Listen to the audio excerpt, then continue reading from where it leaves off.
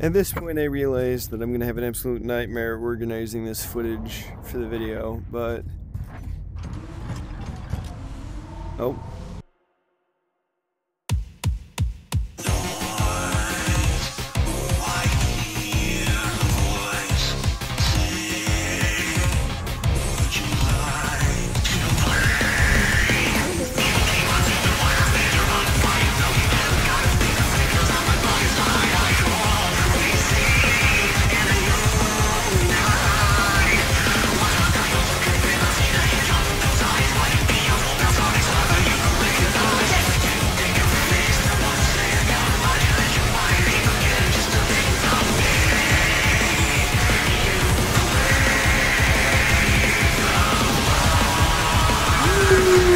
Change.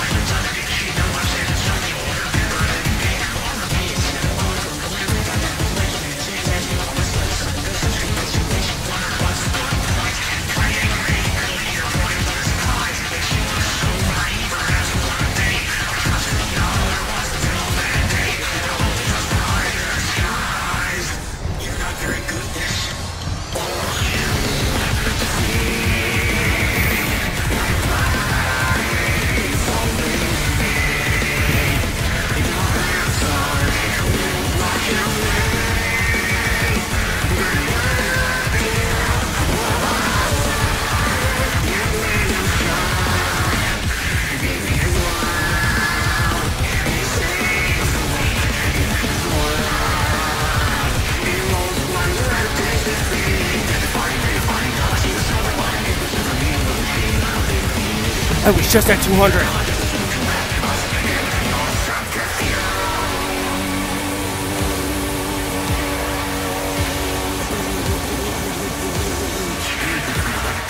I'm taking a break. I'm coming back tomorrow. I will get it.